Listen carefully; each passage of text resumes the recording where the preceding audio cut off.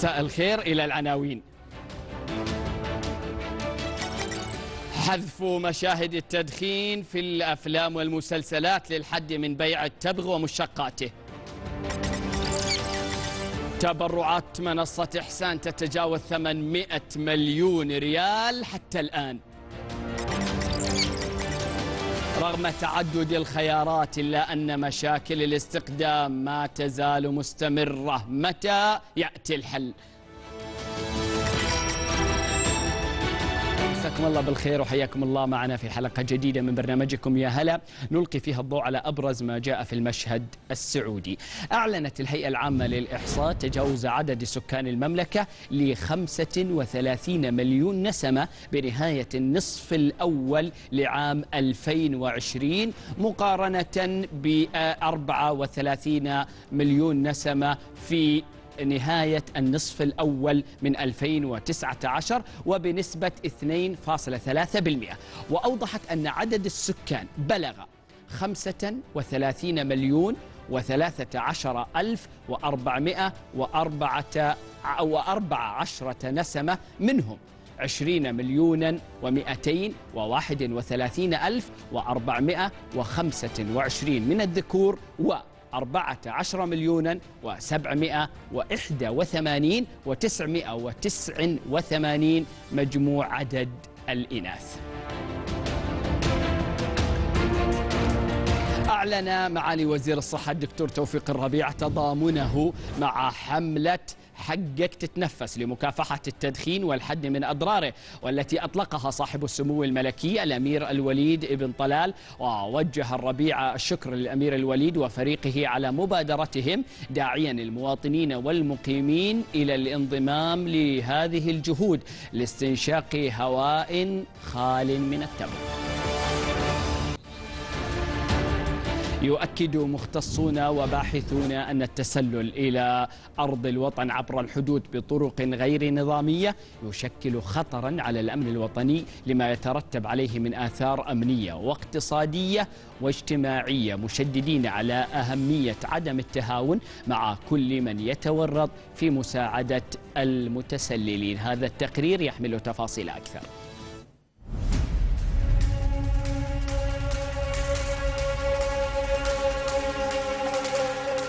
يعد المتسللين من أخطر الأشخاص على أمن الوطن ومقدراته حيث ثبت أن الكثير ممن يدخلون عبر الحدود بطرق غير نظامية هم من أصحاب السوابق أو المشاركين في عمليات إرهابية إضافة إلى أن العديد منهم من الأبرياء يتم استغلالهم وتعنيفهم من الجماعات الإرهابية كما يحدث مع المتسللين عبر الحدود اليمنية من قبل ميليشيات الحوثي. ولا تتهاون السلطات المعنية في المملكة من إيقاع العقوبات المفروضة على كل من يتورط في مساعدة المتسللين حتى وإن كان عن حسن نية إذ يعاقب بحسب ظروف الحالة وملابساتها. وذلك وفق ما تقدره المحكمة المختصة في كل حالة بغرامة تصل إلى 500 ألف ريال.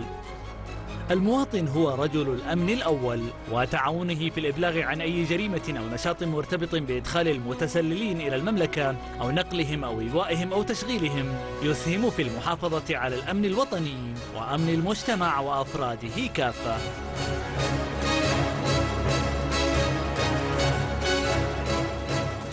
شكرا للزميل أحمد العبد الكريم. أعلنت هيئة تقويم التعليم نتائج اختبارات الرخص المهنية لشاغلي الوظائف التعليمية ومن ضمنها احتساب سريان تاريخ الرخصة المهنية للمعلم من تاريخ إعلان نتيجة اختباره ولمدة خمس سنوات كما أوضحت هيئة تقويم التعليم. المزيد من الموضوعات على شاشة يا هلا تتابعونها بعد هذا الفاصل.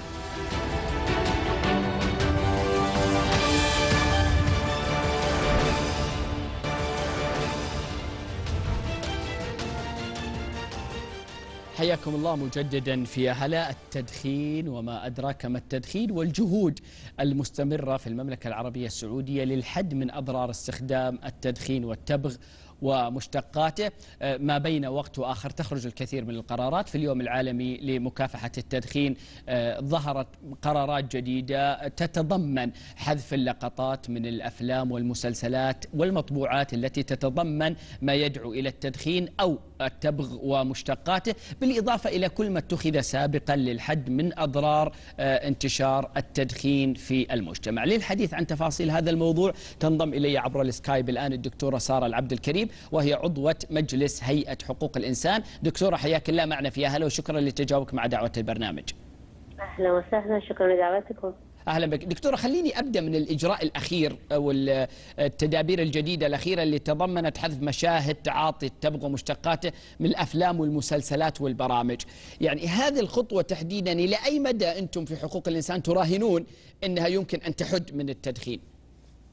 حقيقة هي ليست جديدة لأن هذه كانت ضمن المواد اللي ينص عليها آه، نظام مكافحة التدخين التابعة للجنة الوطنية لمكافحة التبغ إيه؟ آه، صدرت صدر النظام عام 28 وبالتالي هو اللهم ال- هيئة حقوق الإنسان لها دور عظيم في التوعية المجتمعية فكان من باب آه، المساهمة بنشر الوعي في هذا اليوم العالمي أن يكون لها هذا البيان للتذكير بأهم المواد في هذه اللائحة. لكن وكان من أهمها المواد التي يكون للتأثير مباشر على الأطفال من حيث مشاهدة مرئية آه، أو ممارسة أمامه لكن الواقع يق- يقول دكتور إن ال ال إن هذا الأمر لم ينفذ وما زالت المسلسلات والأفلام الواضحة أمامنا واللي تعرض مشاهد التدخين والتبغ يعني موجودة فيها بشكل عادي يعني ما يعني ما يعني المشاهد لم يرى تغيير في هذا.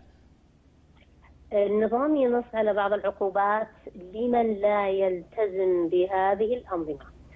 إذا آه، يوجد غرامات مالية آه، ممكن أن يحاسب عليها الجهة المنتهكة لهذا النظام. اللهم الأمر يتطلب المسؤولية المجتمعية من أعضاء المجتمع للتبليغ عن هذه الانتهاكات. مين مين الجهة المسؤولة عن تنفيذ العقوبات؟ آه، عندنا وزارة الداخلية الأمن العام آه، نستطيع التبليغ عن بطرق مختلفة منها كلنا أمن لكن النظام موجود ومطبق. محتاج اللهم المسؤولية المجتمعية. لذا كان لهيئة حقوق الإنسان تحرك جاد وفعلي للتذكير بهذه الأنظمة. جميل. لأنك مثل ما تفضلت. يوجد جهل لدينا نحن افراد المجتمع انه يوجد نظام وعقوبات وبالتالي بس يتطلب ان نتحرك. طيب ال ال كيف رصدتم الجهود السابقة اللي اللي أقرت؟ يعني فكرة زيادة الأسعار فكرة عدم البيع لأعمار معينة. كيف رصدتوها في الهيئة؟ يعني مدى نجاحها في الحد من التدخين وخاصة عند الأطفال؟ حقيقة هي مبنية على التجارب الدولية. أه، لسنا كدولة السباقة أو ال- المخترعة لهذا النظام إنما درسنا ما يحدث ومن التجارب الناجحة دوليا وأستطعنا أن ننتقي أه، الفعال منها والمناسب لمجتمعنا. جميل. لكن النتائج كيف رصدتوها دكتورة يعني؟ سواء إذا كان في دراسة معينة أو حتى كقراءة يعني انطباعية أولى من قبلكم في الهيئة كيف شفتوا الأثر والنتيجة؟ هو ليس لن يكون عن طريق الهيئة نحن هي جهة رقابية إشرافية لكن يوجد برامج مثل برنامج الأسري الوطني. هذا بالدرجة الأولى هو من يتعامل مع الحالات الصحية والأقدر والأجدر على أن يرصدها. طيب ولديهم دراسات ويمكن الاطلاع على هذه الأمور من خلال موقعهم. الآن الآن دكتورة هل من ضمن أدوار الهيئة إنها تتدخل لحماية الأشخاص الذين قد يتضررون من التدخين إذا ما نفذت بعض التدابير آه، حول آه، يعني مكافحة التدخين والتبغ؟ حقوق الإنسان من أحد المسؤوليات وأهم المسؤوليات إيه. أن آه، تتأكد أن الأنظمة الحقوقية مطبقة بشكل سليم وصحيح إيه، لك- لكن هل تملك يعني من ضمن صلاحيات الهيئة أنها تتدخل بالتنسيق مع أي جهة؟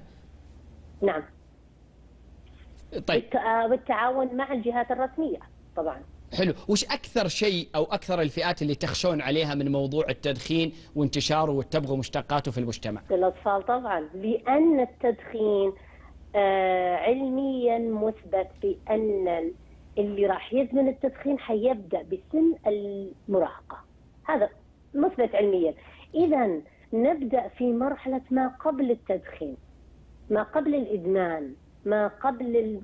تجريب السيجارة الأولى اللي هي سن الطفولة اللي هو سن التأثر والتأثير. محددين أنتم بالمرحلة العمرية من كم؟ الطفولة بشكل, بشكل عام عندنا الطفولة المبكرة من صفر إلى ثمانية ومن ثم المتوسطة والمراهقة. الطفولة عموما محددة من صفر إلى 18 هذا هو السن الحساس اللي ممكن يتأثر ويجرب إما بتأثير الأقران وإما بتأثير المشاهدات وإما قدوة اقتداء بوالديه. وبالتالي ما لم نتحرك لإنقاذ الطفل في هذه المرحلة وحمايته ووقايته هناك احتمالية واردة أن يقع فيها. فالوقاية خير من العلاج. جميل. على مستوى التوعية والبرامج التوعوية أو الفعاليات التي يمكن أن تقدمها الهيئة في شيء مجدول أو معد أو استراتيجية معينة في هذا الشأن والاتجاه سواء الآن أو مع الوقت؟ آه، في الهيئة هناك تحرك جاد وفعلي وقوي في التوعية مثل ما لاحظت من خلال آه، حسابات الهيئة في تويتر وعندنا منشورات ومن مختلف المنافذ التوعوية أو التواصل الاجتماعي الفعالة والأكثر انتشارا. فالجهود ملموسة وحقيقية والتوعية واجبة. لأن مثل ما تفضلت وبدأت أنت بها في هذه المقابلة لم نسمع بها لم نعلم بها. وهذا دورنا هو التوعية. جميل. أكثر من مرة دكتورة آه، كررتي فكرة التوعية المجتمعية والتوعية المجتمعية. طيب اليوم آه، آه، المجتمع يسمع منك ويعرف أنه مثلا ظهور مقطع في مسلسل ولا فيلم ولا مطبوعات ولا شيء فيه التدخين أو هذا هو نظاما يفترض أن لا يكون. وش واجب المجتمع تجاهها كيف يبلغون؟ مين يبلغون؟ إحنا عندنا بما أن النظام موجود نظام أي. مكافحة التدخين. حلو. والعقوبات موجودة.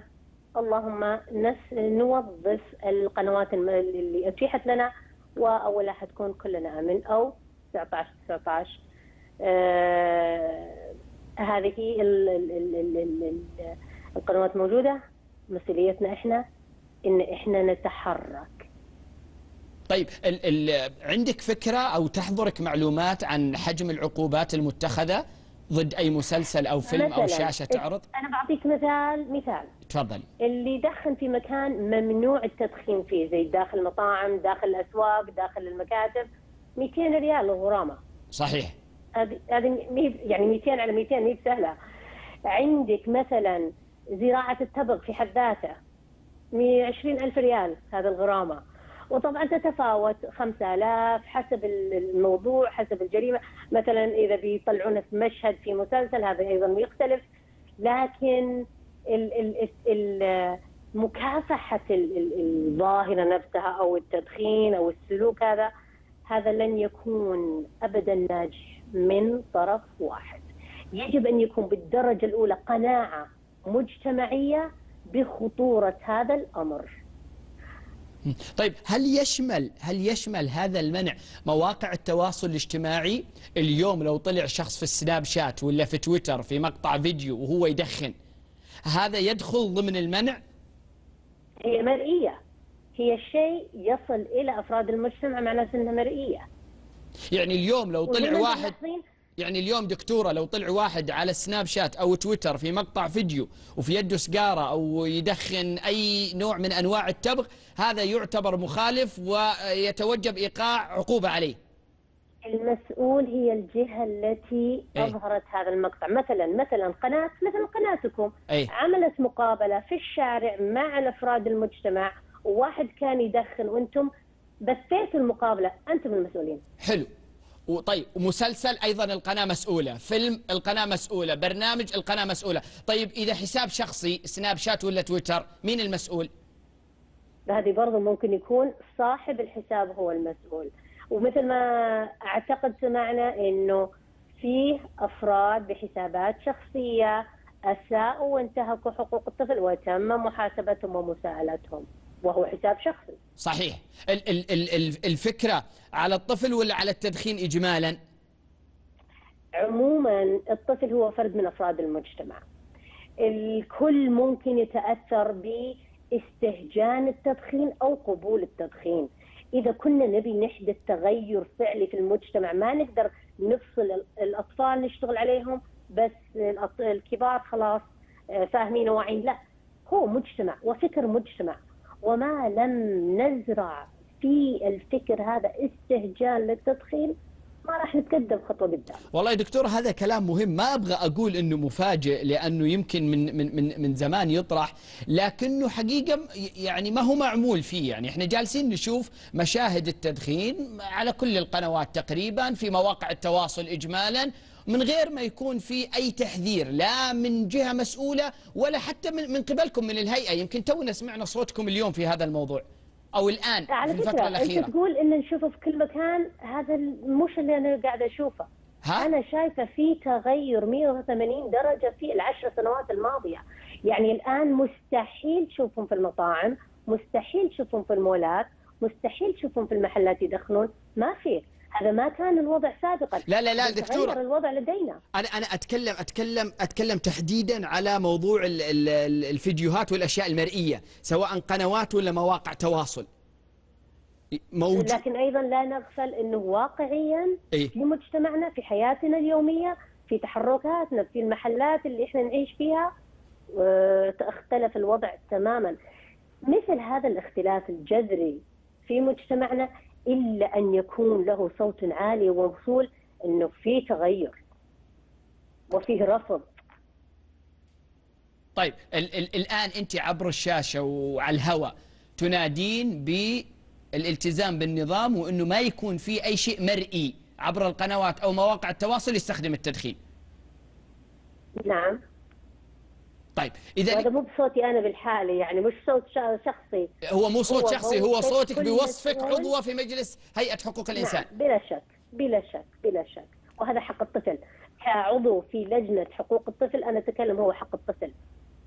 طيب دكتورة لو لك ثلاث رسائل أخيرة قبل ما ننهي هذه الحلقة هذه المقابلة فيما يخص موضوع التدخين أيضا. الأولى إلى الأسر والعائلات وش تقولي لهم؟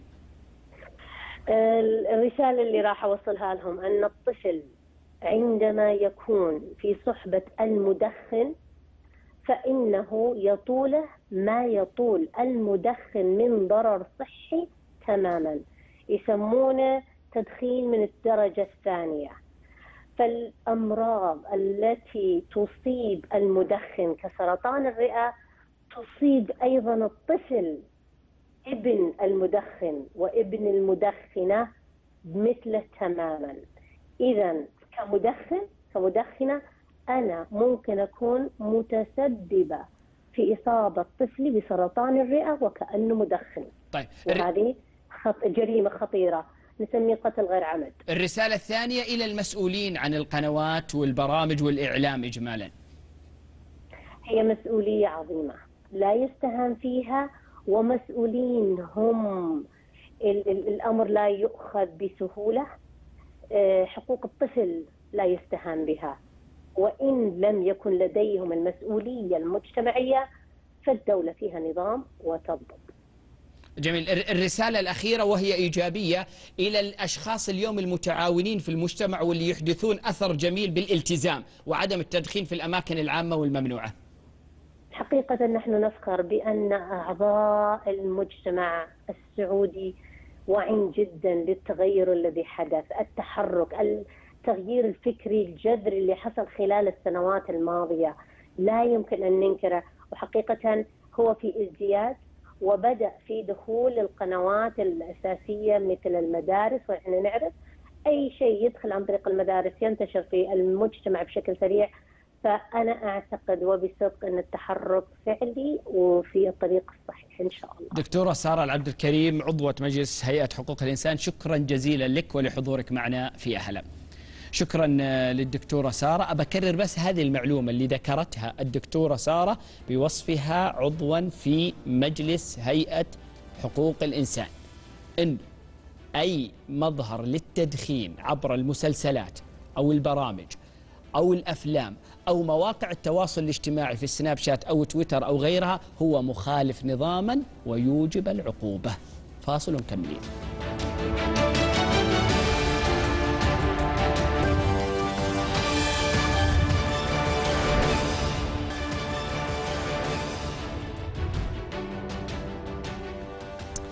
قبل شهر رمضان المبارك كان ضيفي الأستاذ عبد العزيز الحمادي الرئيس التنفيذي لمنصة إحسان وكنا نتحدث يومها عن انطلاق المنصة والتفاؤل بأن تنجح هذه المنصة في شهر رمضان.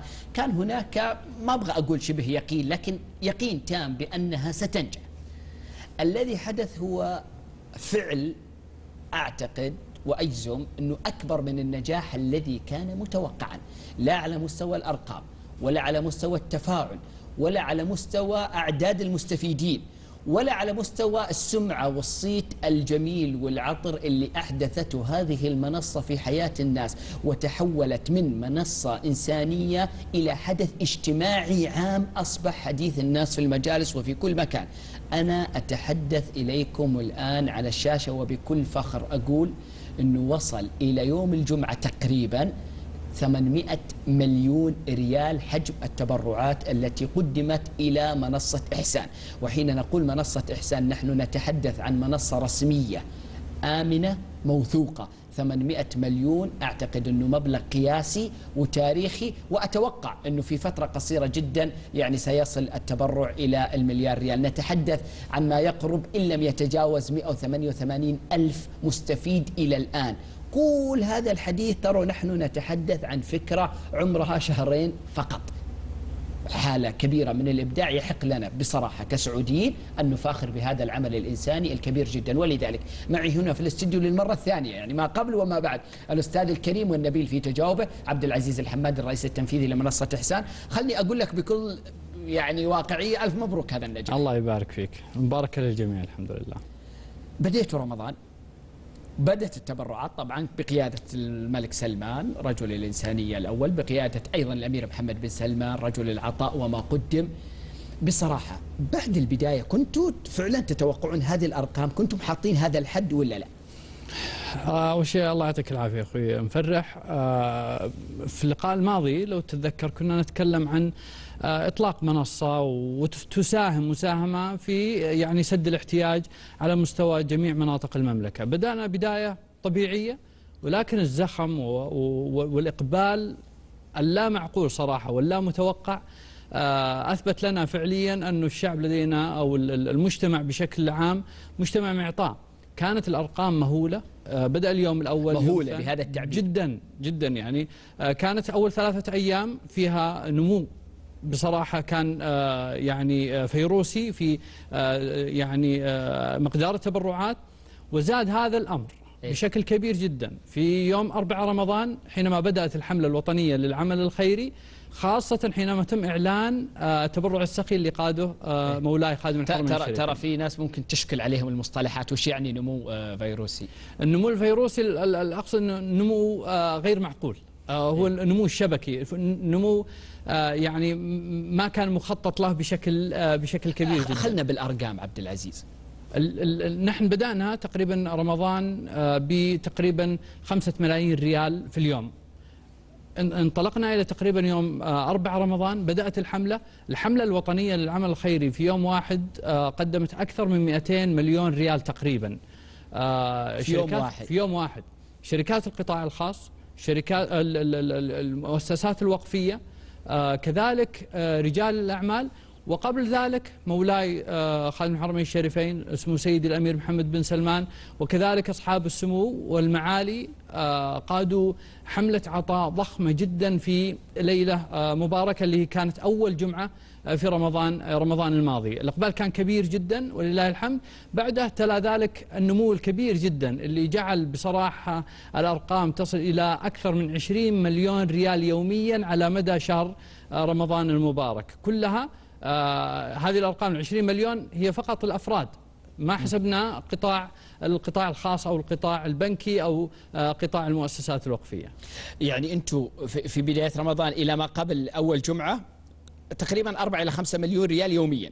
بعد الدعم اللي جاء من الملك وولي العهد وبقية القطاعات وصلتوا في يوم إلى 200 مليون. صحيح. ثبتتم بعدين على 20 مليون. يعني من 4 مليون إلى 20 مليون آه، صحيح كحد أدنى. إحنا نتكلم يوميا. يوميا. في العشر الأواخر طبعا زادت هذه المبالغ بشكل كبير آه، جدا.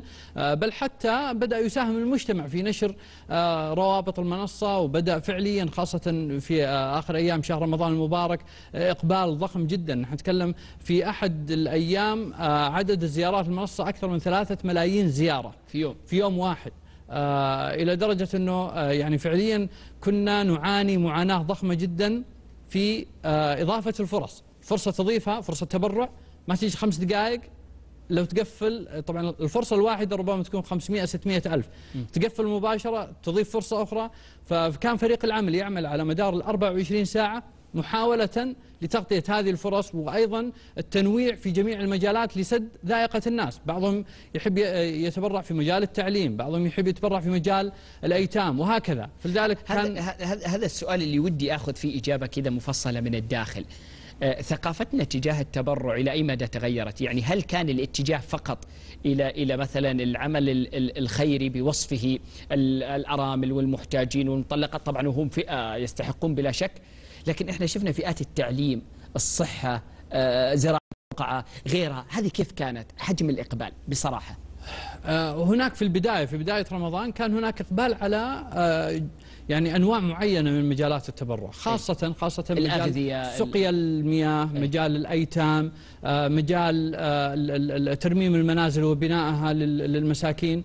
ولكن بصراحة بعد آه، انطلاق الحملة الوطنية للعمل الخيري واكتساب المنصة ثقة الناس بشكل كبير جدا بدأت جميع المجالات يعني يتم امتلاءها بشكل كبير جدا. نحن نتكلم على مجالات ربما لم تكن في آه، يعني في, إطار المنصة في, البداية. نحن نتكلم عن آه، تزويج ال- ال- المحتاجين. نحن نتحدث عن آه، تعليم المحتاجين. نحن نتحدث عن أشياء ربما لم تكن يعني في عقلية كثير من الناس ولكن فعليا تقبلها الناس بشكل كبير جدا حينما وجدوا أن هناك آه، منصة تستقبل تبرعاتهم بشكل سهل وفي ثوان معدودة يستطيع إيصال تبرعه إلى المحتاج. الحمد لله. إحنا والله سعيدين إنه هذه الثقافة في التبرع تكون موجودة عندنا.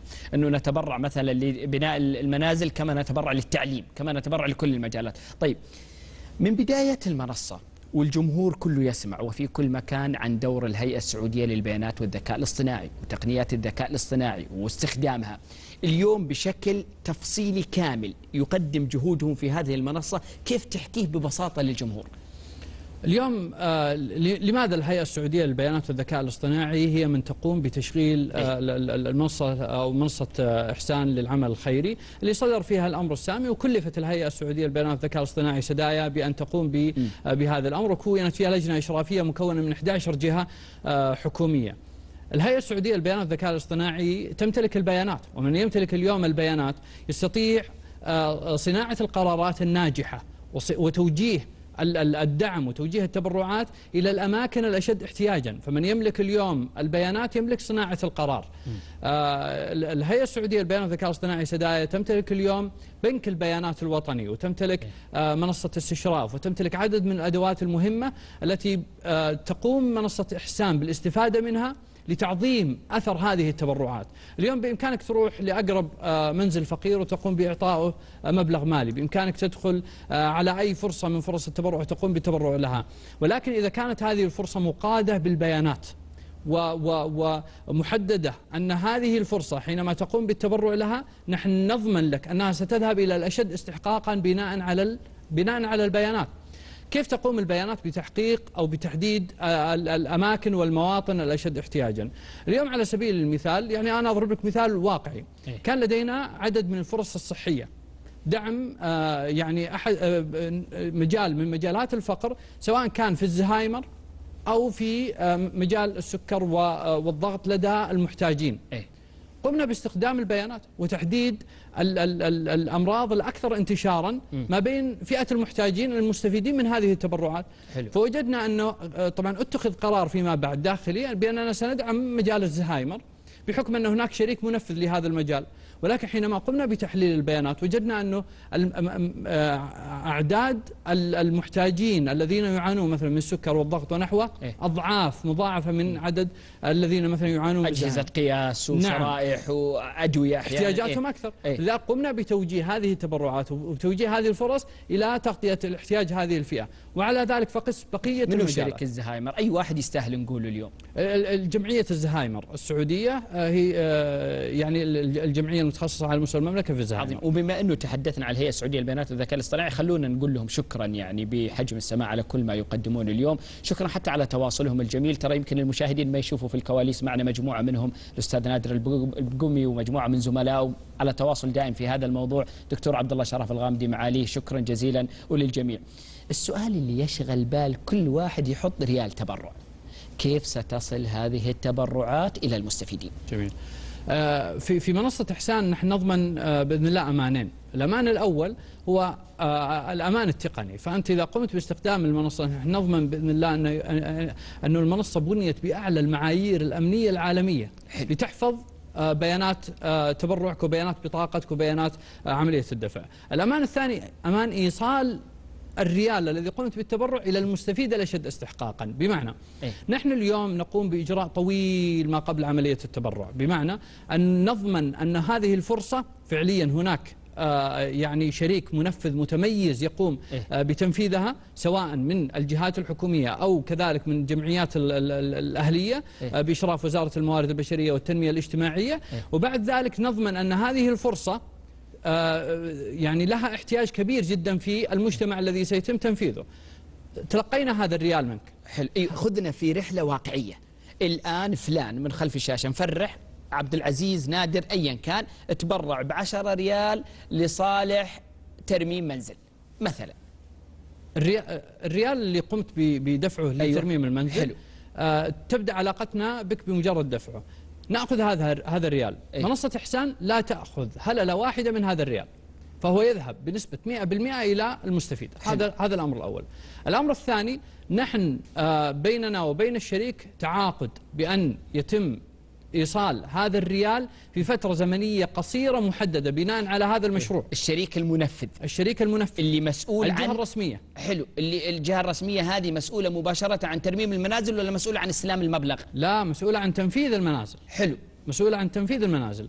نقوم بإيصال هذا التبرع. وليس ف... يعني لا ينتهي تنتهي علاقتنا بهذا الريال الذي قمت بدفعه إيه. بمجرد إيصاله. نحن نشرف على التنفيذ ونضمن أنه هذا التنفيذ فعليا سيكون على أعلى معايير الجودة وعلى معايير الكفاءة وأن هناك تقرير استلام من آه، من الجهة آه، الرسمية وأنها قامت بتسليم هذا الأمر إلى ال- ال- الأماكن أو المواطن الأشد آه، الأشد. احتياجا هل عندكم خطة زمنية للوصول يعني لو تبرع واحد اليوم ال- ال- الاثنين أو الثلاثاء عفوا متى توصل للمستحق بمجرد أن تكتمل الفرصة.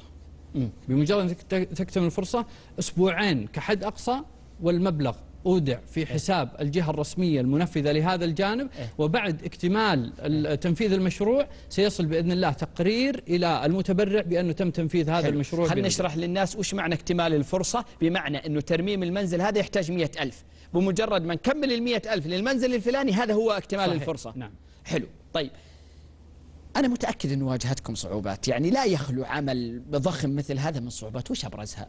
بصراحة كذا على المكشوف. والله آه، الاحتياجات كثيرة صراحة. والص- إيه. والصعوبات في النهاية أن تدخل في آه، يعني في شهر رمضان خاصة الناس آه، يعني متشوقة إلى جوانب معينة. الجانب الأول والتحدي الأكبر صراحة اللي واجهناه ما ذكرته قبل قليل آه، تغطية الاحتياجات لدى المتبرعين.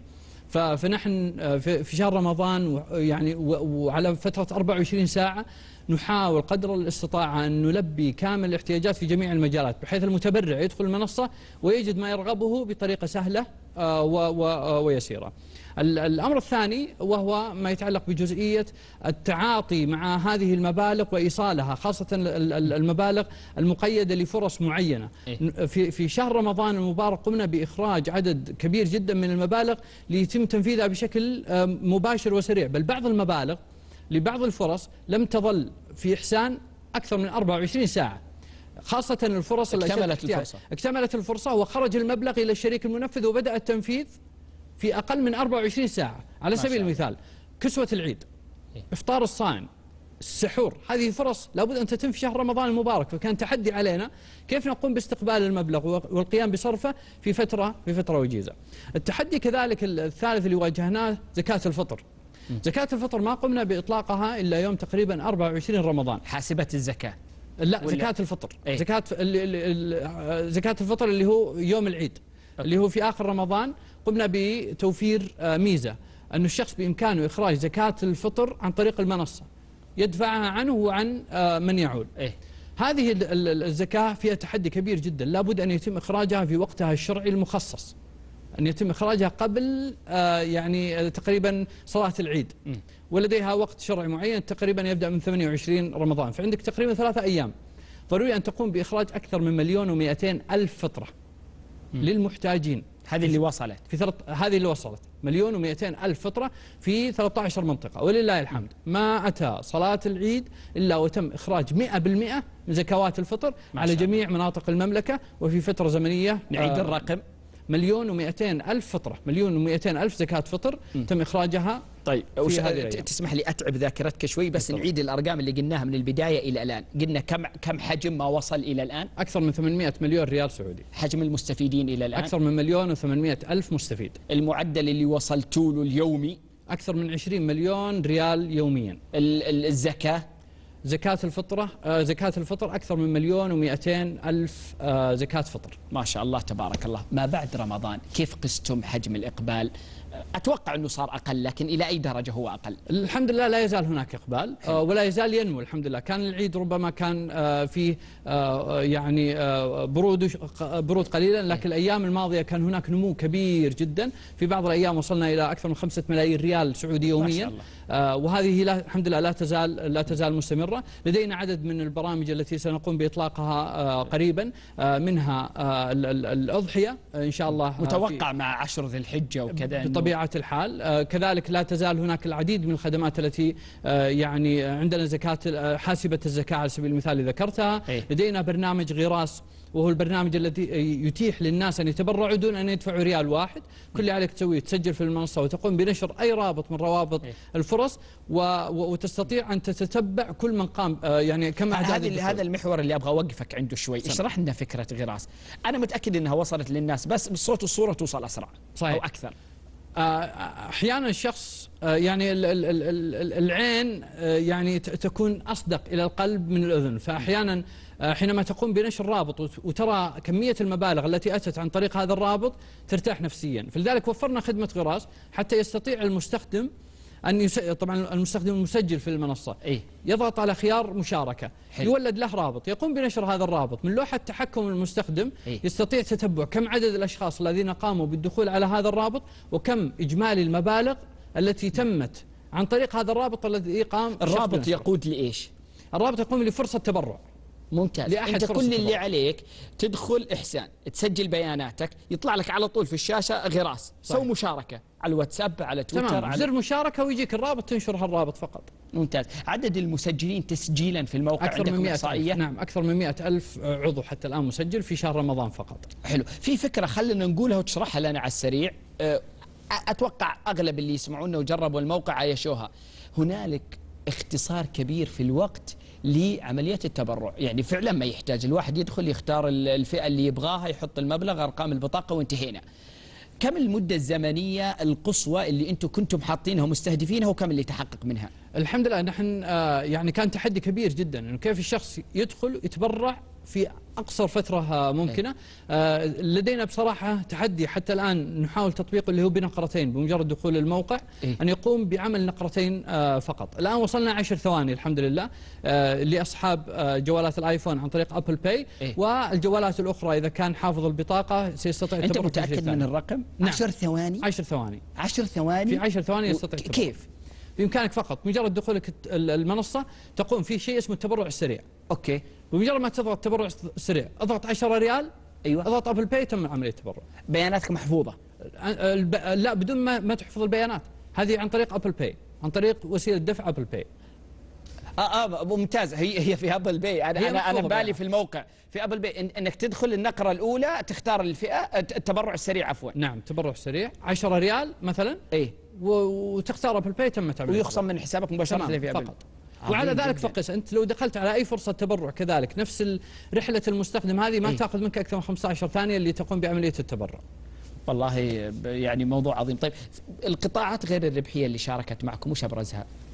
عندنا طبعا القطاع آه، غير ربحي آه، أكثر من تقريبا 300 جمعية آه، خيرية على مستوى المملكة بإشراف وزارة الموارد البشرية والتنمية الاجتماعية إيه. نعمل معها بشكل يعني مستمر لدينا كذلك ال- ال- الوزاره أو الجهات الإشرافية آه، الموجودة لدينا في منصة إحسان في مقدمتها وزارة الصحة وزارة العدل ال- الشؤون البلدية والقروية والإسكان إيه. هذه كذلك وزارات وغيرها طبعا الكثير هم شركائنا في تنفيذ كثير من المشاريع التي آه، نعمل عليها. لدينا شريك كذلك آه، من يعمل خارج المملكة هو مركز الملك سلمان للإغاثة والأعمال الإنسانية. آه، شريكنا الأهم بالإمكان التبرع له عن طريق منصة إحسان بشكل سهل ويسير. تسمح لي أوقف عند النقطة سم. هذه شوي. المركز عنده منصة تبرع في حساب المركز للي يدخل. صحيح. تمام؟ أيضا في حساب إحسان أنت تدخل تلقى فيه تبرع للتعليم لبعض الدول آه، للي تاثروا من بعض الحروب. هذه كيف هذه بالتنسيق مع المركز صحيح. هو اللي يتولى إيصالها صحيح. إحسان تعتبر نافذة ثانية رسمية لمركز الملك سلمان للإغاثة والأعمال الإنسانية. يستطيع الشخص التبرع مباشرة عن طريق منصة إحسان للمركز. ممتاز. خلوني بس أقول للمشاهدين ليش ليش طرحنا هذا السؤال. لأن في بيان من رئاسة أمن الدولة إن مركز الملك سلمان للإغاثة والأعمال الإنسانية هو الجهة الوحيدة التي توصل التبرعات الخارجية. فبالتالي عشان بس ما يصير لبس إنه اليوم تقول إحسان والمركز لا ال- اللي بتتبرع به في إحسان لأي جهة خارجية من سيتولى إيصالها مركز الملك سلمان للإغاثة والأعمال الإنسانية. كذا صحيح؟ صحيح. طيب فكرة الهدايا اللي عملتوها كانت فكرة مجتمعية جميلة وأعتقد أنها لقيت رواج. هل عندكم إحصائية معينة لعدد المبالغ اللي بس في فكرة الهدايا؟ طبعا فكرة ال- الهدايا آه، ما كنا نتخيل فعليا أن يكون هناك انتشار كبير جدا. كنا نتخيل يعني بضعة ملايين و... وانتهى الموضوع. لكن فعليا في رمضان؟ فقط أكثر من 80 مليون ريال عن طريق فقط الهدايا. 80 مليون. 80 مليون ريال. أنا آه، أحب أخوي مفرح ودي أهدي له هدية. آه، النمط التقليدي أبى أروح أهدي له درع وكذا. لكن. اللي تفاجأنا أنه الناس بدأوا آه، يستغلون هذه الهدايا لإيصال التبرع بنمط آخر مختلف فيقوم بإدخال رقم جوالك وتصلك رسالة. الميزة هنا أن الناس بدأوا يتناقلونها في تويتر في سناب صحيح. شات في بقية آه، شبكات التواصل الاجتماعي. فأصبح هناك انتشار كبير جدا آه، لها إلى درجة أنه آه، الأبناء يهدون أبائهم. بل حتى وصلتنا كثير من الرسائل من معلمين ومعلمات أن الطلاب بدأوا في نهاية العام الدراسي اللي كان في رمضان يهدون لمع- يهدون. لمعلمينهم ومعلماتهم. فكان هناك انتشار كبير ولله الحمد. 80 مليون خلال رمضان. نعم خلال رمضان. عظيم جدا. طيب الشباب يبلغوني طبعا من قبل كم دقيقة أنه انتهى الوقت بس بصراحة مثل هذه الأشياء إحنا نحب نمدد فيها. اسمح لي أتعب ذاكرتك المرة سم. الأخيرة ونعيد بسرعة للمشاهدين والمشاهدات أبرز الأرقام حتى نكون في الصورة واضحين. سم. وصل عدد التبرعات للمنصة حتى الآن كم؟ أكثر من 800 مليون ريال. وعدد المستفيدين؟ أكثر من مليون و800 ألف مستفيد. المعدل اليومي خلال شهر رمضان؟ كان أكثر من 20 مليون ريال الم- يوميا. المعدل اليومي الآن؟ الآن تقريبا يصل إلى 5 ملايين ريال يوميا ولكن المعدل ال- الطبيعي من مليون 2 مليون ريال يوميا. الذين أخرجوا زكاتهم عن طريق ال- المنصة؟ الذين أخرجوا زكاة الفطر عن طريق المنصة أكثر من مليون و200 ألف فطرة أو زكاة حجم مبالغ الهدايا اللي أهديت ماديا تبرعيا عن طريق المنصة؟ 80 مليون ريال. عبد العزيز الحمادي شكرا جزيلا لك. شكرا لك. شكرا لإحسان على هذا الجهد العظيم الذي جالس يبذل. مرة ثانية وثالثة وعاشرة. اليوم يحق أن كسعوديين حقيقة أنه نفاخر كثيرا بهذا العمل الإنساني الرائد الذي يثبت قولا وفعلا أن المملكة العربية السعودية هي منصة هي مملكة الإنسانية. بعد هذا الفاصل ألقاكم.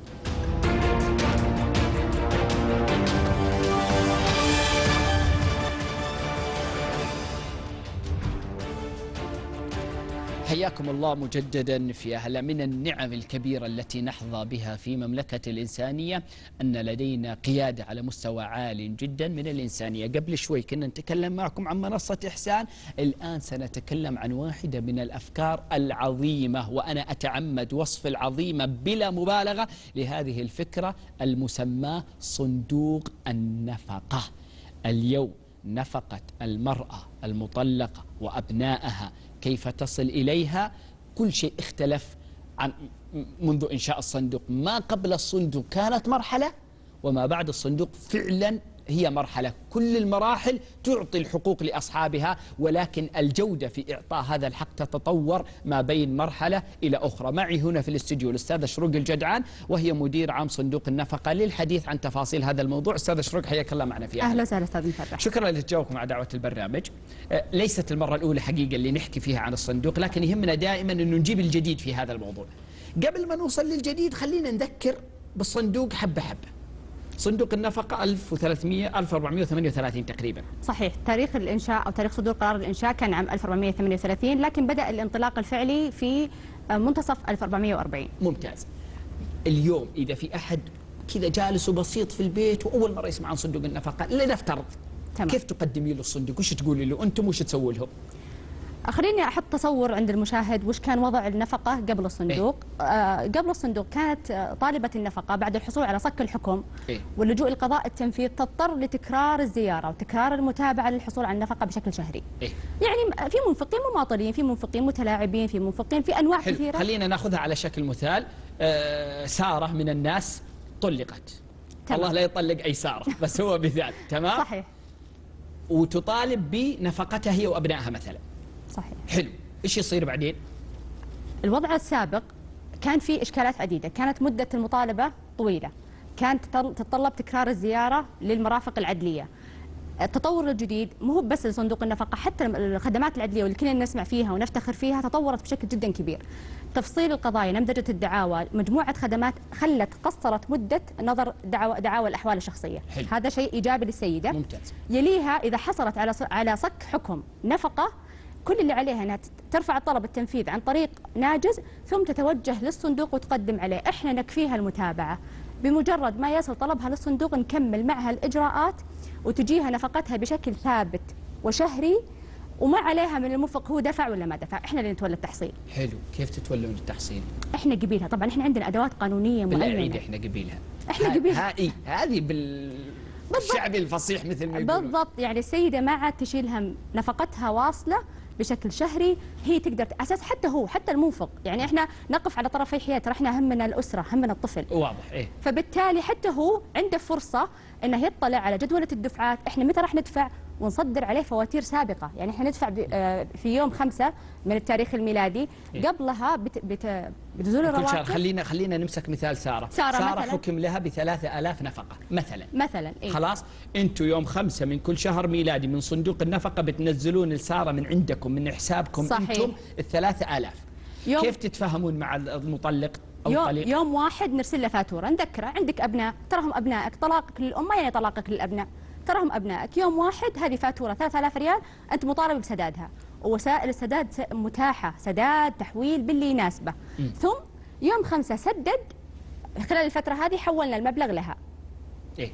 ما سدد إحنا نسدد ون- ونثبت عليه الفاتورة كمطالبة. واصلها واصلها. واصلها طيب واصلها لنفترض إنه ما سدد ما طل طبعا وش الم- الإجراء؟ في إجراءات متعددة لمحاسبة المنفقين وإحنا يعني خلينا نقول بالشراكه مع وزارة العدل إيه. متحققين من وصول النفقة زي ما تفضلت هو كان راضي أو مو براضي. طبعا في مشروعات إضافية قاعدين نعمل عليها هي اللي تكون توسيع نطاق الخدمات. إحنا لاحظنا تج- تجربة إيجابية. إيه. بعد مرور فترة من الصندوق طبعا الصندوق الحين عنده شهر هذا جون عندنا تقريبا 3000 مستفيد. حلو. مجموع النفقات السابقة اللي صرفت تتجاوز 11 مليون. الحجز على ال... عندنا النفقات اللي إحنا ملتزمين فيها للفترة القادمة تتجاوز 19 مليون. لكن لاحظنا تجربة أن بعض المنفقين لما وجدوا أداة توثيق وأداة تضمن حقهم وفي فوترة وفي متابعة التزموا. لكن معليش خلينا ناخذها واحدة واحدة إذا سمحتي لي أستاذ. شروق لو ما طل إحنا لازم نوصل الرسالة اليوم للي يسمعونا. لو, ما ما طل لو ما طل بيطلع عليه قرار تنفيذ بيضاف اسمه في البنك المركزي في سمة يبي يحجز على أمواله بيصدر عليه كل قرارات التنفيذ أو كل العقوبات اللي تصدر على من عليه دين نفقة. ودين النفقة دين ممتاز مقدم على باقي الديون. يا سلام. هذه عقوبات أتوقع إنها راجعه طيب. أكيد. مين اليوم اللي تحتاج صندوق النفقة؟ يعني الآن لو راحوا للقاضي وانتهت كل المعاملات بأنه النفقة ألف ريال مثلا. حلو؟ هو مفروض إنه يدفع لها النفقة مباشرة صحيح؟ المفروض. خلاص؟ هي في الحالة دي ما تحتاج صندوق. لو التزم لو التزم بالنفقة إيه. ما تحتاج. في. المرحلة الحاليه مين اللي يحتاجون الصندوق اللي عند اللي المنفق مماطل ما يلتزم. كيف تثبت لكم إنه مماطل وتتأكدون من صدقها؟ لأنها بتروح التنفيذ القضاء التنفيذ وبيصدر عليه قرار حجز أموال. اللي ما دفع بعد قرار حجز الأموال معناته ما راح يدفع. إي بس كيف التبين من إنه فعلا آه لم يدفع لا المنفق طبعا إحنا عندنا ربط مع المنصات العدلية ونقدر نتابع هالشيء. عندنا ربط وعندنا آه وبعدين المنفق له حق الاعتراض. لو مثلا هو هو يدفع أو حتى عندنا ربط مع الب- البنك المركزي السعودي إيه. ونتاكد لو في قرار استقطاع في قرار في استقطاع من الراتب يروح لها مباشرة عندنا كل الأدوات اللي الآن الحكم. النهائي كيف يصير قضائيا استقطاع حسب ولا الحال. يتفقون وخلاص لا هو حسب الحال الحين طبعا لما نتكلم عن الحكم النهائي ترى إيه. عشان بس ما يشكل على الناس الحكم النهائي هذا الصك بعد انتهاء فترة الاعتراض مم. هذا يجي من محكمة الأحوال الشخصية. إيه. لما تروح القضاء التنفيذ في مجموعة أدوات قانونية تضمن حقها. الأول التبليغ يقولوا للمنفق عليك بلاغ وعليك فاتورة سددها. إيه. المرحلة اللي بعدها يفحصون وجود راتب له. إيه. في راتب يستقطع ويبلغ إن تم الاستقطاع من راتبك. حلو. ما ما وجد له راتب أو كان مماطل ينقل حسابه من بنك لبنك أو إيه. عنده أي حيلة أو أي شيء ينفذ على قرار 46 اللي هو قرار حجز الأموال وساعتها تقدم عندنا وتستفيد. خلاص ما عاد الدورة. ما ما تحتاج إنها حلو. كل فترة تتابع. طيب اليوم أنت تعرفي طبيعة مجتمعنا وطبيعة بعض الفئات في المجتمع. لو في وحدة المنفق آه، هو هذه التسمية اللي تقولونها إيه. له ماطل وسوى الحركات هذه وما أعطاها. وهي بطبيعة نفسية عائلية بيئية مجتمعية لا اشتكت ولا قالت ولا تعرف كيف تأخذ حقها. هذه أنتم في آلية تقدروا توصلوا لها ولا لا؟ هذه يا طويل العمر هذا اتجاهنا الجديد في الصندوق. انا حديثنا السابق كان عن المرحلة الحالية. إيه. عندنا توجه في خليني. أكمل بس نقطة. سم تفضل. إنه إنه إنه حتى هي ما, ما تقدر تشتكي. هي عندها عيب إنها تشتكي. ما تقدر. تخجل. عندكم آلية إنكم توصلوا لها وتنصفونها هذا هذا المشروع القادم بإذن الله للصندوق واللي بينطلق قريبا إحنا نعمل على شراكة مع وزارة العدل إيه. عن طريق تسمية الصندوق إدارة مركزية للنفقة، إدارة مركزية مالية للنفقة. حلو. بيطلق حزمة مشاريع أهمها المسؤولية الاجتماعية. لأن في أسر تبي تحتاج النفقة حتى مع عدم قدرة المنفق على سداد، فهذه بنطلع لها برامج زي جود للإسكان، آه، في برنامج في برامج إسكان للقادرين للسداد وفي. برامج لغير القادرين. هذه أحد الحزم اللي عندنا. عندنا حزمة تتعلق برفع الوعي القانوني في المجتمع كافة. إذا حضرتك تقول في سيدة ما تدعي في سيدات ما عندهم إثباتات. إحنا بنبدأ معهم الخطوة ر- رقم واحد. ما عنده إثباتات إيش؟ إنها طلقت من اساسه ما عندها سق طلاقها. ما تعرف انها تقدر هي تسحبها تعتقد إيه. إنه هو لازم يرسلها الحين الخدمات هي تقدر تسحب كل أوراقها من منصة ناجز حلو. بدون. هذول كيف بتوصلوا لهم؟ إحنا طبعا ال- الإعلام وشريك لنا وعشان كذا نشكر استضافتكم اليوم ونتمنى امتداد. الإعلام. مؤثر جدا جدا قوي للوصول للناس. الشراكه مع القطاعات العدلية بمجرد تسجيل السيدة لدعوى نفقه عن طريق ناجز وصلتنا. يعني. الحين إحنا ننتظرها تسجل. قدام شوي بإذن الله بمجرد ما تدخل المنصات العدلية بتلقى صندوق النفقه واقف معها داعم لها شريك لها. إحنا نبغى استقرار الاسره ما موضوع الصندوق عشان زيادة الإجراءات ولا زيادة الآليات ولا شيء. حنا مكلفين باستقرار الأسرة. هن- الأسرة تأخذ نفقتها؟ الأبناء يتربون تربية جيدة يروحون المدارس؟ عظيم. أنا أتمنى والله وأرجو وما أخجل إني أقولها على الهواء. إنكم أيضا تهتمون بال- بالناس اللي في الهجر في القرى في المناطق البعيدة بال- بالأميات. صحيح. يمكن نسبتهم قليلة بس ما زالوا موجودات. لا يتابعون تويتر ولا يتابعون يا هلا ولا يشوفون لا إن شاء الله نحن واصلين. أتمنى أنه يوصل لهم هذا إحصائياتنا الحين تقول إن إحنا غطينا أغلب مناطق المملكة. وهجرها إلى إلى إلى مناطق النازحين في جازان. الحمد لله وصلنا لهم وعند وعندنا مسجلين منهم. هذه شغلة. الشغلة الثانية عندنا شراكة مع اللي هي القطاع بعض المناطق الحدودية. المناطق الحدودية اللي فيها يعني حتى كان يشكل عليهم الوصول طبعا خدماتنا الإلكترونية إيه. فبالتالي سهل إنهم يوصلون لنا بدون تنقل ومشقة عليهم. إيه. هذا شيء. الخدمات الإلكترونية تساعد. الشيء الثاني آه ذكرتها الشراكه مع وزارة العدل والمرافق العدلية. إيه. والشراكة مع القطاع الثالث اللي هو القطاع الغير ربحي الجمعيات الخيرية. حلو. نسوي لهم ورش عمل ونعلمهم أهداف الصندوق وكيفية التقديم. هم أداة للوصول لهالناس وبالتالي يقدمون بالنيابة عنهم. مما قد لا يعرفه البعض عن إنسانية هذا الصندوق المتمثلة في إنسانية السعودية إجمالا صحيح. أنه يعطى للمواطنات وللمقيمات أيضا. صحيح؟ اشرحي لنا الفكرة ووضحيها بتفاصيلها عشان اللي يسمعونا اليوم. من هم المقيمات اللي يعطى لهم صحيح. طبعا فيه كمان عشان بس نكون يعني كمان أشمل ترى مو بس السيدات. إيه؟ ممكن أب يكون عنده قضية آه، نفقة على أبنائه. كبر في السن وما عاد يعطونه وهو محتاجهم. هي النفقة إجمالا. هي النفقة حلو. إجمالا. هذا هي بشكل عام. إحنا شروط التقديم على النفقة من ناحية ما نعتد بالجنسية. نعتد بوجود هوية سارية. هوية وطنية أو إقامة. حلو. إذا أوراقها نظامية هي كسيدة آه، مقيمة أوراقها نظامية وعندها آه، صك صادر من المحاكم السعودية إيه. تقدم. هي ضيفتنا وزيها زي بنت البلد. يشترط أنه طلاقها يكون في السعودية صار. لا صك النفقة يكون صادر من المحاكم السعودية. يعني بمعنى النفقة. بمعنى بمعنى مع كل المحبة لكل اللي على أرض السعودية. مثلا سيدة من مصر من سوريا من الأردن من فلسطين من لبنان من بنغلاديش من صحيح. مكان تمام؟ آه، طلقت. ما طلقت في السعودية. ما طلقت في زوجها في بنغلاديش وطلقها مثلا. خلاص؟ تقدر تستفيد؟ لا لازم المنفق يكون مقيم في السعودية. أوكي. لازم- المنفق مقيم والمستحق مقيم. كلهم مقيمين هنا. وتقدم على صندوق النفقة بالضبط. وتقدم بصك صادر من المحاكم السعودية. وعندنا حالات ترى مقبولة ومستمر الدفع لها. عظيم. زي ما تفضلت من إخواننا من الجنسيات العربية أو من الجنسيات الأجنبية. سواء كان المنفق سعودي أو غير سعودي. يعني كلهم غير سعوديين أو هي غير سعودية لكن زوجها سعودي وطلقها بالتالي هو عندها إقامة سارية وصك تستفيد من الصندوق. تستفيد من مثلها الصندوق. مثل السعودية تماما. تماما. طيب الصندوق كيف يؤمن مبالغه؟ موارد الصندوق يا سيدي هي ثلاث موارد أساسية. إيها. الإعانة اللي جاية من الدولة إعانة مقطوعة. طبعا هذه تصرف بشكل أساسي في التشغيل؟ يعني ما ناخذ من الموارد الأخرى لتشغيل الصندوق. إيه. الشغلة الثانية الصندوق الوقفي والتبرعات. إحنا عندنا صندوق وقفي من أوائل الصناديق الوقفية المنشأة. جميل. و... وهذا يضمن استمراريته. طبعا الحمد لله. الاستدامة وندعو الجميع للمشاركة زيارة موقع الصندوق وفيه كل آليات التبرع الموجودة تبرع إلكتروني وسهل عن طريق البوابة. إيه. لدعم الصندوق الوقفي أو دعم التبرعات بشكل مباشر. التبرعات بشكل مباشر هذه ناخذها شهريا ونحولها كنفقات للمستفيدين. جميل. أنا أنا متأكد أستاذة شروق إنك كريمة.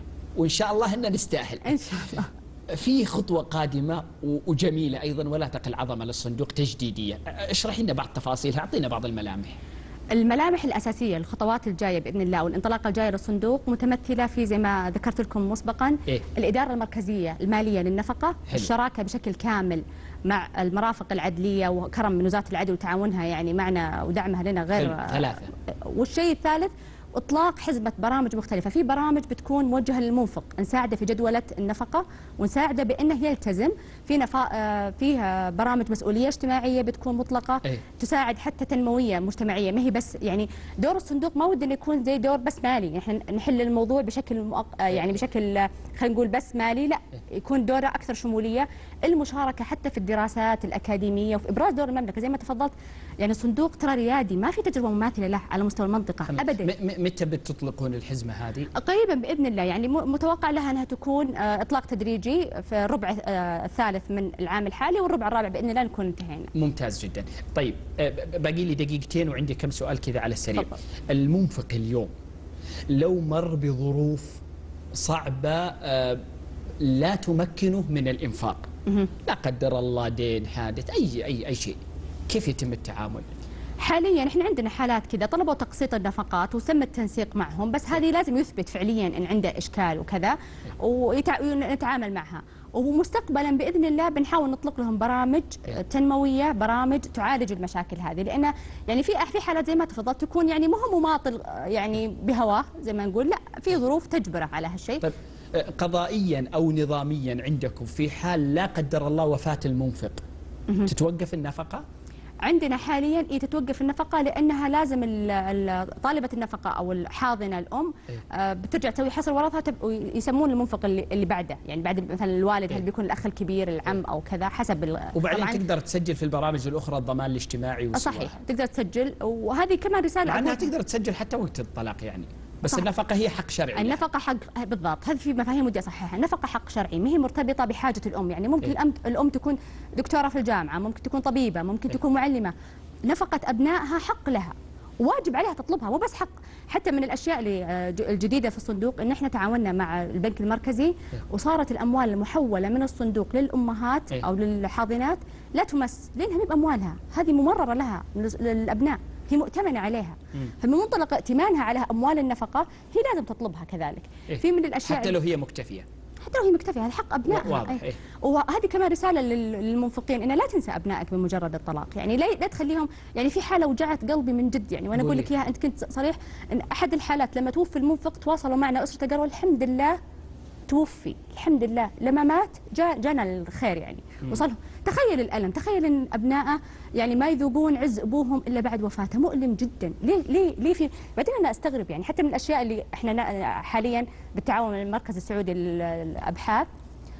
ندرس وش أسباب عزوف المنفق. إحنا في مجتمع سعودي متكافل. كان يعاب على الأب يترك ابنائه بدون نفقة أو يتركهم. وش اللي صار؟ وش تغير؟ ليه ليه وصلنا لمرحلة أن نحتاج أدوات عشان نتابع النفقة هذه؟ عظيم. من ضمن الأشياء اللي مط- مطلقة كذلك التسجيل الاختياري بحيث المنفق لو هو حاب يوثق النفقة عن طريقنا. إيه؟ بدون قضايا. بس هو وده يثبت إنه ينفق على ابنائه سواء ابنائه هو مثلا كفيل أيتام يبغى يثبت النفقة عليهم. هذه أحد المشاريع بيكون تسجيل اختياري بإذن الله بيطلق وبنعلن عن طريقه يا سلام عظيم. طيب أخيرا ال- ال- النفقة تستمر من الصندوق إلى الأم والأبناء آه، مفتوحة ولا لمدة معينة؟ حاليا في النظام الحالي 24 دفعة.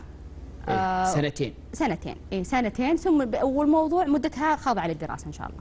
أي إنها ممكن تزاد. يعني بإذن الله. يعني يعني بعد السنتين إيش يصير؟ كيف حيجبر المنفق على الإنفاق؟ إحنا نامل إن إحنا ب- بكمال السنتين نكون عززنا مسؤولية المنفق عن طريق أي. المطالبات السابقة والتزم. في حال ما التزم هذه الحالات اللي حابين ندرسها. صارت عقوبات كثير بصراحة. آه بدينا في المطالبات بدينا بالفواتير بدينا بالعقوبات. يعني ما في عقوبات يعني آه، ما زلنا شوي مترفقين فيهم يعني. آه، طيب. قبل ما أختم هذا اللقاء إذا تحضرك أي إحصاءات معينة عدد المسجلين عدد ما تم إنفاقه عدد ما لدى الصندوق إلى الآن؟ آه زي ما ذكرت لك قبل شوي في جون في الشهر هذا عندنا 3000 مستفيد. حلو. مبالغ النفقات اللي دفع دفعت سابقا 11 من الصندوق 11 مليون. وعندنا يعني مأمنين 18 مليون للدفعات القادمة بإذن الله. ما شاء الله تبارك الله. الله يعطيكم العافية والقوة وإن شاء الله يعني تصل رسالتكم. بختم اللقاء معك برسالة توعوية أخيرة تغريدة صوتية تقولينها لكل ال- أصحاب النفقة اللي يسمعون نساء ورجالا. آه، أقول لكل سيدة لديها صك نفقة آه، في جهة تساعد في جهة تدعم. تفضلي بالتقديم والتقديم سهل وميسر عن طريق الموقع الإلكتروني. أقول للمنفق إحنا جهة تساعدك للالتزام. تواصل معنا إذا أنت حاب آه، تسجل. حلو. نقول لل... ونشكر الجهات العدلية وسعادة يعني معالي وزير العدل والمرافق العدلية كافة على دعمهم. لنا حلو. ال- الموقع الإلكتروني وين تدخل؟ وش اسم الموقع؟ نفقة حلو. إس إي. بعدها إيش الأيقونات اللي تختارها أو؟ واضح صفحة تسجيل على طول. آه، رفع طلب ممتاز جدا جدا. سهل أستاذ شروق الجيلان شكرا جزيلا لك لهذه الصراحة لهذا الوضوح وإن شاء الله لكم الأجمل. دائما وبنواكب انطلاق التعديلات الجديدة إن شاء الله بإذن الله. شكرا لاستضافتكم. شكرا. جزيلا لك. منصة إحسانية أخرى تطلق في المملكة العربية السعودية. نعم لها علاقة بحقوق شرعية نعم لا, لا نعم لها علاقة بحقوق إنسانية لكن أن تعطى بهذا المستوى العالي من الدقة والحرص والعناية والاهتمام بالجود والجودة هو أمر يستحق الإشادة. في يا هلا وفي كل برامجنا الحوارية مثلما نطالب دائما بتحسين بعض الخدمات المتعثرة علينا أن نحتفي كثيرا بالخدمات العظيمة المنجزة في هذا الوطن العظيم بعد هذا الفاصل ألقاكم.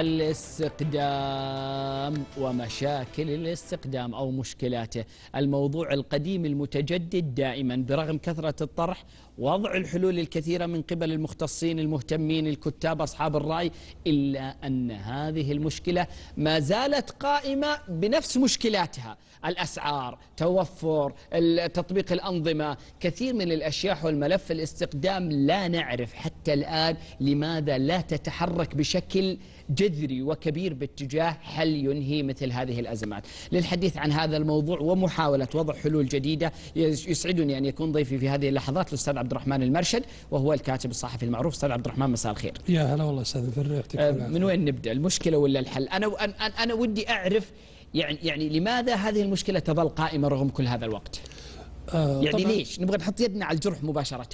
بالضبط. الآن عندنا كم مكتب استقدام الان مكتب وشركة استقدام في المملكة يا أستاذ مفرح عندنا 2200 2200 ما بين مكتب وشركة استقدام لو بنحدد شركات الاستقدام 36 شركة.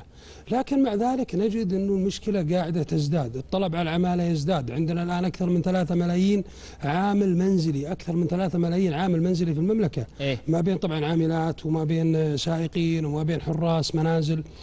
ومع ذلك نجد إنه فعلا المسألة ما حلت نجد تكاليف الاستخدام مرتفعة نجد إيه. فترة الاستخدام صعبة آه، نجد يعني حقيقه الكثير من المشاكل إحنا الآن لو بنتكلم عن جزئية معينة من هذه اللي إيه. هي شركات الاستخدام شركات الاستخدام عندما تم الإعلان عنها قبل تقريبا عشر سنوات إيه. كنا نعتقد إنه هذه الآن هي اللي بتحل المشكلة إنه الآن أنا كمثلا كمواطن إنه مواطن أو مقيم يعني إنه الآن ما عندي قدرة مثلا إني أطلع فيزا لكن ابى أروح لشركه الاستخدام وبستاجر العاملة المنزلية مثلا وأجيبها عندي في البيت وانتهى الموضوع. وحتقضي على موضوع الهروب بحيث إنه لم يعني هروب العاملات هذا سينتهي كثير من الأمور ستنتهي أو كثير من المشاكل. لكن وجدنا إنه شركات الاستخدام الآن تبالغ بشكل كبير في أسعار التأجير. يعني الآن العاملة الآن عشان تأخذها شهريا من 3700 ل 4000 ريال. يعني يعني من اللي يقدر عليها؟ بالذات إحنا لو نتكلم راتب مثلا كامل. راتب. إحنا الآن لو كنا لو جينا بنتكلم مثلا عن طيب بعض يعني المشكلة عندنا في وضع قرارات في تنفيذ قرارات في تمرد على القرارات من المكاتب وشركات الاستقدام في إيش بالضبط؟ أنا أعتقد إنه انه انه إنه يعني يمكن أكثر من وزير يمكن أربعة وزراء أو خمسة وزراء كل ما جاء وزير الوزارة الموارد المش البشرية بمسماها الحالي إيه. إنه يقول إني أبحل هذا الملف. طبعا ما انحل ما انحل إحنا نتذكر مثلا أرجع وأقول لك ليش ودنا نطلع بتصور أنا ليش أقول لك ليش أستاذ عبد الرحمن؟ لأن المشكلة ما في أوضح منها. امسك أي أحد في الشارع اسأله. وش مشاكل الاستقدام؟ يقول لك ما نلقى وإذا لقينا بأسعار غالية وكل الإجراءات اللي نقراها ونشوفها ما يعني أغلبها بعضها المكاتب ما يطبقها علينا. واضحة. بس ليش ما في حل؟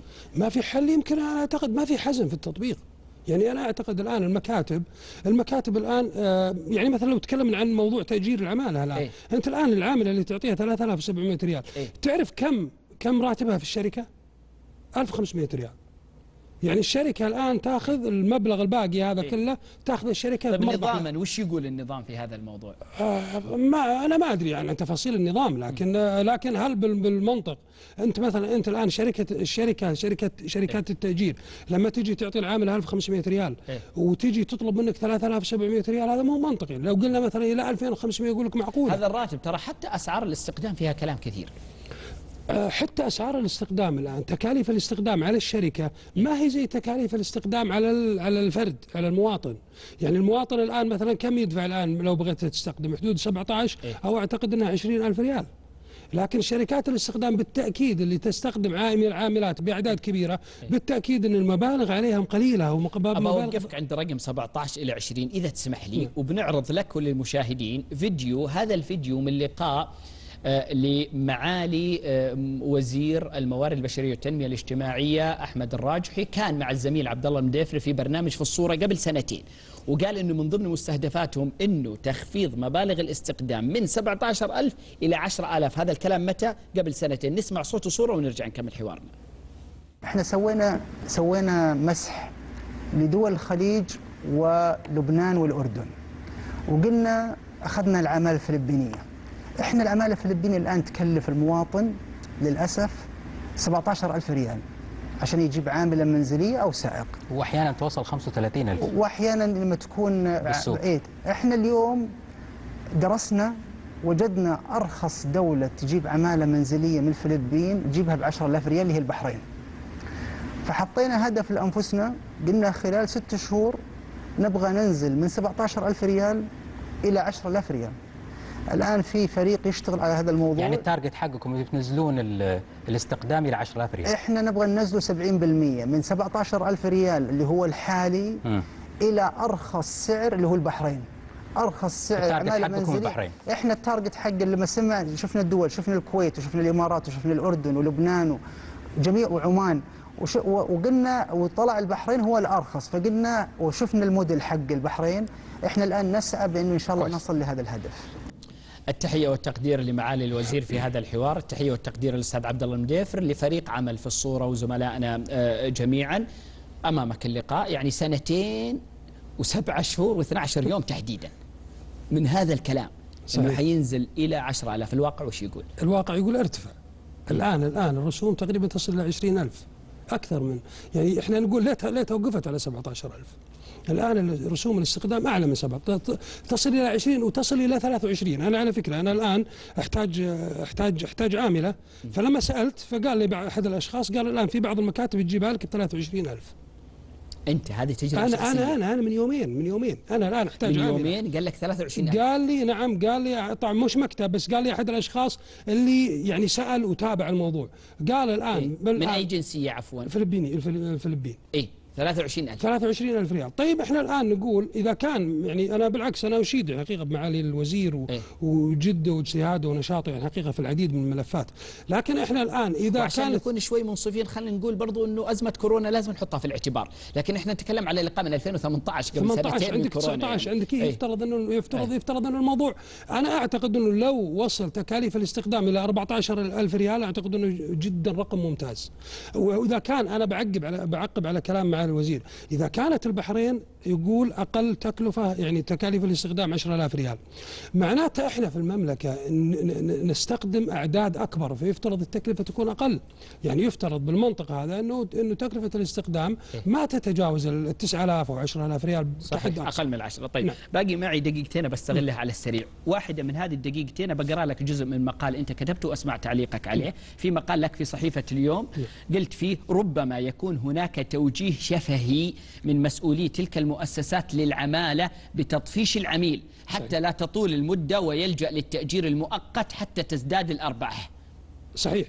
كلام جريء وقوي جدا. كيف, كيف نعم. كيف؟ الان الآن شركات العمالة وأنا أقول لك من تجربة وتجربه تجربتي وتجربة أي، غيري. أي. الآن العامله المنزلية لما تجي عندك في البيت لما تكمل شهر تبدأ تتململ أو تجي تقول لك أنا ما راح أكمل. حلو. أنت الآن لما يعني العامله هذه تغيرها تعرف شو اللي يصير؟ الشركات العمله تاخذ منك 500 ريال. يعني بغ... بعكس إنه والله لو تستمر معك فترة أطول. توجيه شفهي من مسؤولي تلك أي. المؤسسة أي مؤسسة تقصد؟ مؤ- مؤسسات تاجير العمالة. اي مؤسسات تاجير تاجير العمالة. إنه طفشوا العميل. إنه طفشوا العميل قولوا ما أبغى أكمل ما أبغى أشتغل بحيث إنه أنت عندك خيارين. وش هي؟ يا تلجأ بالساعة. إيه. بالساعة طبعا بيكون بيكون إذا أخذتها. بالساعة السعر أعلى أو تأخذ باقة كاملة ثلاثة شهور أو سنة. وبالتالي هو يستفيد وبالتالي. المستفيد الشركة بالضبط. هذا اللي يصير. لكن لما تأخذها شهر أو بعدين تقول بجدد شهر لا الكلام هذا هم هذا عن تجربة وليس مجرد رأي واعتقاد أبدا عن تجربة وتجربتي وتجربة غيري من من ال- من, من بعد التجربة إلى اليوم ما زلت مصر على رأيك. ما زلت نعم. أنا أعتقد أنه فعلا شركات العمالة أسعارها بهذا الشكل يعني حقيقة مرتفع جدا. طيب. وأنا أشوف الحل الحل لو تم لو تم إيه، الكلام اللي قاله. بالحلول. نعم لو تم الكلام اللي قاله معالي الوزير إنه والله تكلفة الاستخدام بتصل إلى 10000 إيه. وهذا ما قاله معالي الوزير قبل سنتين. أعتقد إن هذا بيقضي على الكثير من المشاكل. 10000 ريال وراتب 1500 ريال أعتقد حل إنه حل ثاني؟ ممتاز. هل ثاني عقوبات على المؤسسات المتجاوزة؟ المؤسسات آه، يعني يفترض أيضا أن تتدخل وزارة الموارد البشرية في موضوع تأجير العمالة. أنا أتكلم تأجير العمالة بالذات. ليش أنا أدفع 3700 ريال؟ يعني كحد أقصى يفترض انها ما تتجاوز 2500 ريال خاصة أنهم يدفعون للعاملة راتب شهري 1500 وحتى التوفر أنا أعتقد أنه مشكلة لأنه الناس أح- أحيانا ما تلقى. فتح أيضا أيضا فتح آه، فتح أسواق أخرى. يعني مثلا دول أخرى مثلا تنضم إلى هذا الموضوع. لأن المشكلة الآن اغلب الدول الآن عندنا اللي أو أغلب الناس تلجأ إلى الفلبين.